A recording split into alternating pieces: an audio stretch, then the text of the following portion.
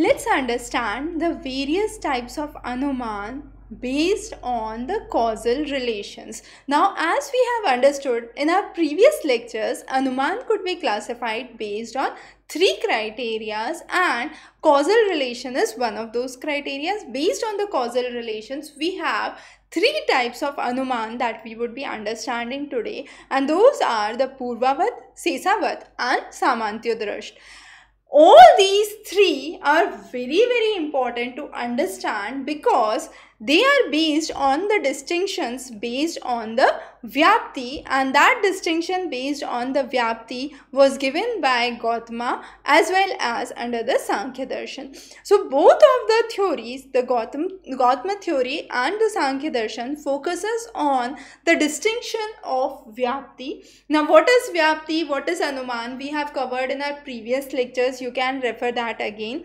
Just a quick recap of Anuman, it's something being derived from the previous knowledge. Now, as we said, we have three types that we would be understanding today. The first two, the Purvavat and the Sesavat, deal with the relation between cause and effect. The last one, the Samantyodrisht, does not deal with the relation between cause and effect. So let's understand the first one, which is the Purvavat. Now, under the Purvavat, we are trying to understand there is a relation with the previous happening. Now, when I say there is a relation between the with the previous, we are trying to establish a cause and an effect relationship. But here, what happens is the cause is perceived and the effect is unperceived. A very good example is I see dark clouds in the sky.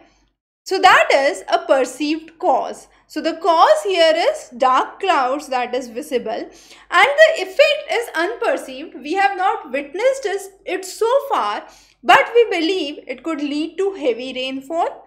So that is an unperceived effect the rainfall has not happened so far. It is not perceived. Therefore, under Purvavat, we repeat again, there is a perceived cause that you have visualized, that you have observed, that is known, and there is an unperceived effect and that effect is being derived only because there is a cause associated to it. Seeing the dark clouds in the sky, you are trying to relate it with heavy rainfall which is not actually happened. It's just an unperceived effect. I am repeating this again and again because this is the most important section where most of the students get confused between Purvavat and Sesavat. Most of the questions that you would have in the exam would occur based on the example you would have to find out whether it is a Purvavat, Sesavat or a Samantyodrish. So if you are very clear with the concept here, any of the example that comes up becomes very very easy to solve. So there is a perceived cause. The cause has been visualized, observed and known but the effect here is unperceived. So we can also say there is a previous antecedent and a kind of inference of consequent so antecedent, what is the cause and consequent, what is the effect here in other words. Similarly, if we talk about the same example of smoke and fire that we have done before. So unperceived effect is seen from a perceived cause which is fire. So from the fire, you are seeing an unperceived effect that is smoke and that is an example of Purvavat. So that is how we understand Purvavat. Moving on to Sesavat. Sesavat is also known as Karyarat Karan Anuman and here there is a perceived effect but what you are trying to relate to it is an unperceived cause. The thing that has happened, you are visualizing it, you are seeing it. But what was the cause behind it, you do not know. So there is an unperceived cause and you are trying to guess one of the causes for it. A very simple example is you see a city flooding. Now, when you see a city flooding, it is a perceived effect. This is an effect. The city is flooding.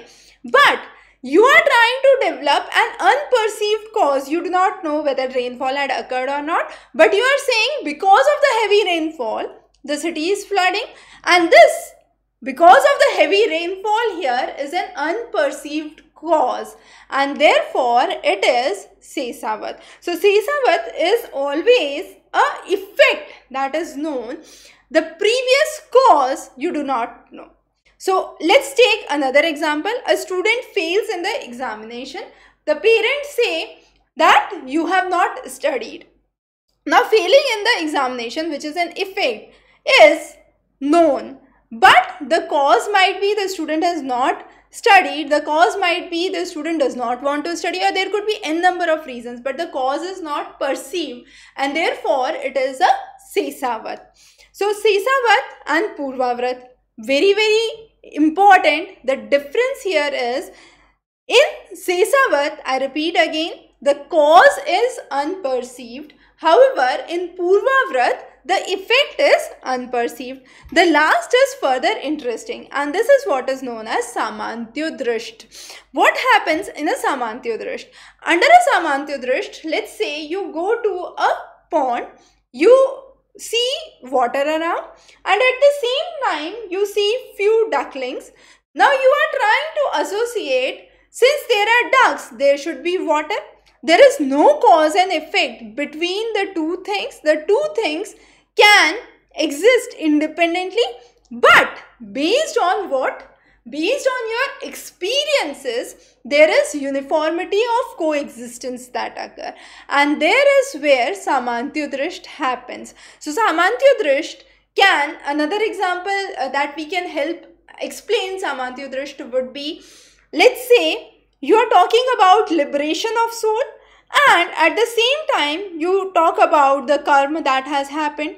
Now liberation of soul and karma both of those are independent but you usually try to say that there is coexistence. If you do good karma there would be liberation of soul and you might go to heaven.